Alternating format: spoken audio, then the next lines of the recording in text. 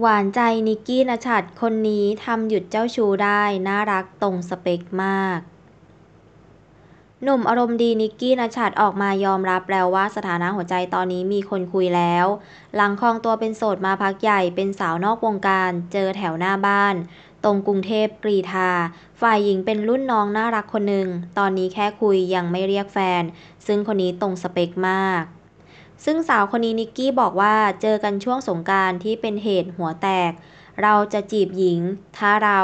ไม่กลุ่ม เรารุยไม่ได้ เราก็เลยมอมตัวเองไงจะรุยจีบหญิง แต่ลื่นหัวแตก หญิงก็มาหัวเราะ